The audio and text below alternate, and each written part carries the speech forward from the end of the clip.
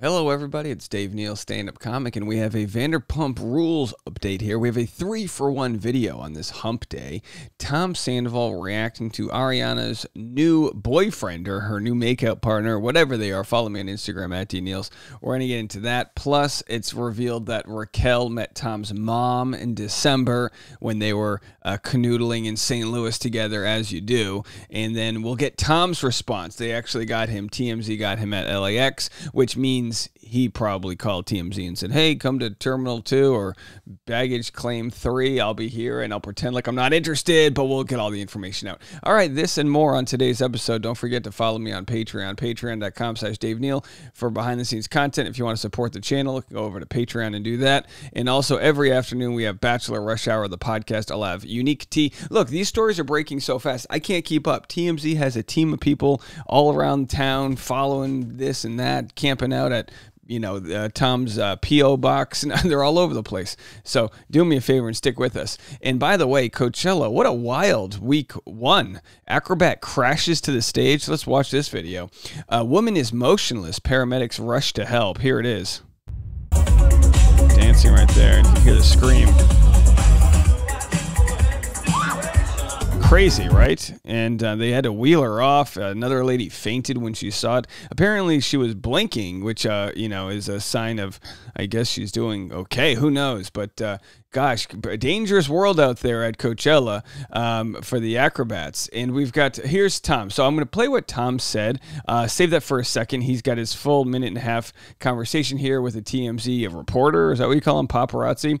But let's start here. Raquel awkwardly met Tom Sandoval's mom, and she knew. Of course, Tom's mom knew. She wasn't born yesterday.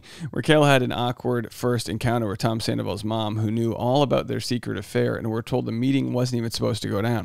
Sources with direct knowledge tell TMZ Raquel took another trip to St. Louis, Tom's hometown, in January, following her first outing the month before. They were at a bar with his friends when the place abruptly had to close due to an ice storm warning in the area. The group decided to take shelter at Tom's mom's house, which was nearby, making it the first time Raquel has ever met her. And yes, his mom Terry knew all about their affair. My my my question is this: I don't know. If I was in another part of the country, my wife would know. You know what I mean? Does Ariana, and I'm not blaming her, but did she not know that Tom and Ari and Raquel were both in St. Louis together. What a wild situation. We're told Terry wasn't cool with their situation, but was cordial during the quick exchange. Oh, of course. Terry looks like a nice mom. I'm sure she's going to be cordial. She's going to be like, Tom, uh, you know, I don't like your mistresses, but I'm going to make them a hot tea and some warm cookies. The group ended spe- spending the night, ended up spending the night, and Tom and Raquel ended up in the same room. TMZ broke the story. Raquel made her first St. Louis trek at the end of December, with Tom giving her a tour of the city, but we were told his family had no interest in meeting her, especially especially knowing what was going on behind the scenes, between the sheets. We got Tom out on Tuesday, so we'll get to the Tom interview right after this.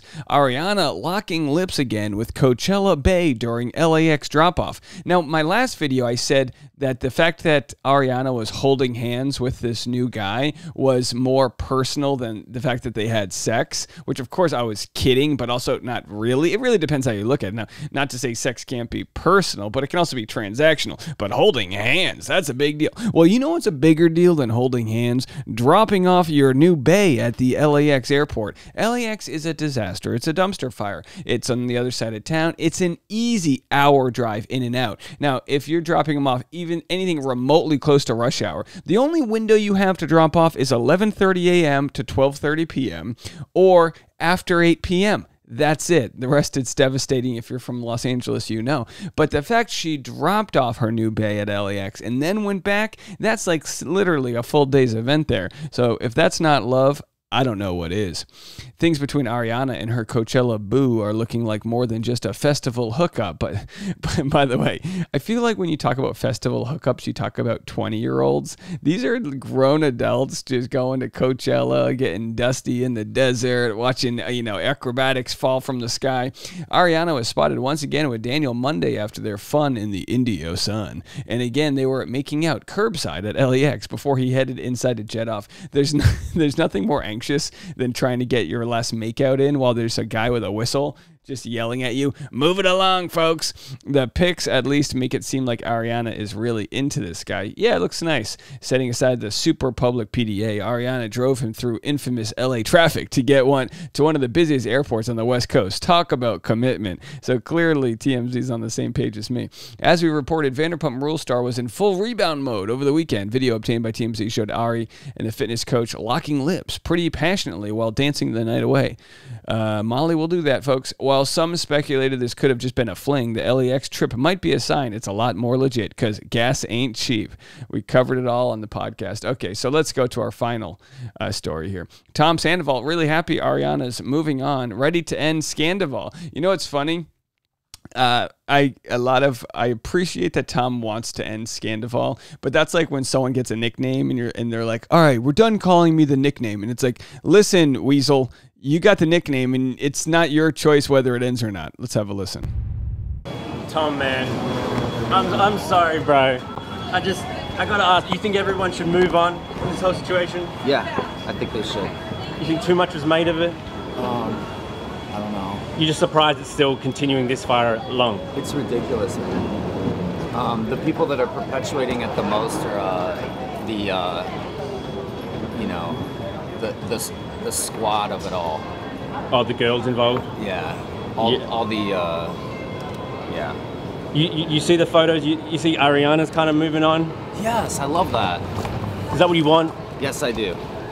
I really do. So you- you're happy for her finding potentially a new guy and that sort of stuff? Yes, I'm really happy. Do you text her and sort of like, you know, I'm glad. No. No. Hey, hey, you think uh, Marivelle kind of did you dirty posting that thing?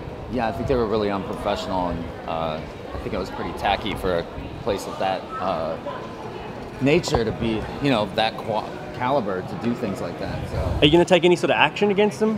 no, that was that was all right. Well, have a good. Day, Also, man. can I just ask, how's Raquel holding up, man? I don't know, man. There's no comment on that one. Are, are, are are you going to see her? No.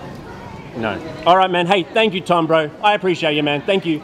Tom Bro. Thank you, Tom Bro. So how this works is, um, you know, you or your publicist, you call the t- TMC, the tip line, and you say, I'll be arriving at the airport. Here's my flight number. And then the guy waits along. And then you put on your big glasses and you go, oh, geez, that's that's all I can talk about. And they get you going up the elevator. It's the whole, the whole elevator is like the 10 seconds to ask your questions. That's the new escalator. Or I'm sorry, the escalator is the new elevator. You get the point. The point is, it's a battle of he said, she said. But what really is happening is it's Tom's kind of in recovery, whereas Ariana is the uh, victim of the whole situation. Uh, regardless of how everything else played out, that's where it's at.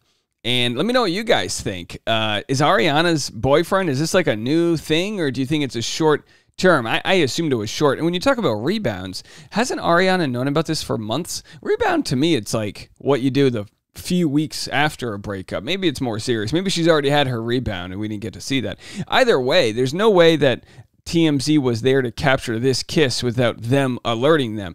This, Los Angeles County's 30 million people, isn't it? You don't just find a random person to kiss. Even LAX is seven terminals. It's a big area. So um, my guess is that was also uh, coordinated. Nothing's real, folks. It's all fake. Anyway, let me know what you guys think. We'll have more Vanderpump news as it breaks every afternoon. By the time I get to this on the West Coast, by the time I make my afternoon podcast, there's always new content out. So I try to give you fresh and new content. BachelorRushHour.com or just search Bachelor Rush Hour wherever you listen to podcasts. We'll be back with more content after this.